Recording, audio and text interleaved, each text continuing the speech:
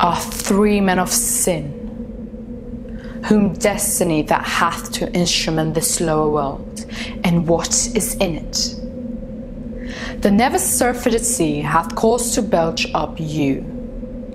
And on this island, where men doth not inhabit, you mongst men most unfit to live.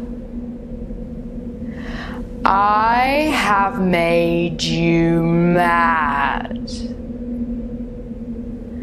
And even with such like valor, men hang and drown their proper selves. you fools. I and my fellows are ministers of fate, the elements, of whom your swords are tempered. May as well wound the loud winds, or with bemock'd-at stabs kill the still closing water as diminish. One dowle that's in my plume. My ministers are like invulnerable if you could hurt. Your swords are now too massy for your strength and will not be uplifted.